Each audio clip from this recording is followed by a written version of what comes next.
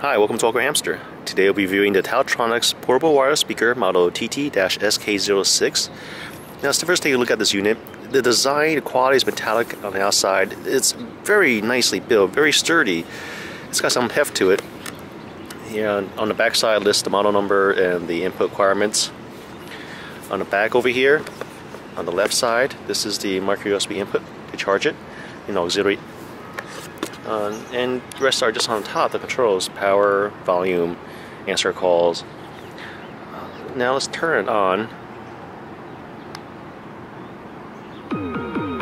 It's made a little noise and the blue LED illuminated. And that second chime, that just show that it's pairing, it paired already. Let's play some music here first.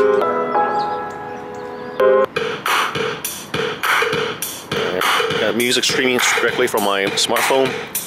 So let's lower this volume a bit. First thing I notice when playing this is it has a very nice bass. Uh, the bass is gives a, more of a boom versus a lot of the other Bluetooth speakers I've reviewed in the past. It, it has two 10 watt speakers offering very rich sound, and the battery life on here lasts about six hours. You can always extend it by using the auxiliary cable that came with it. It also came with a micro USB cable too. I'm just gonna raise the volume and start walking on back. It's very loud. And there's no distortion when I had it set to the highest volume either. I don't have anything negative to say about this, so I would recommend the speaker.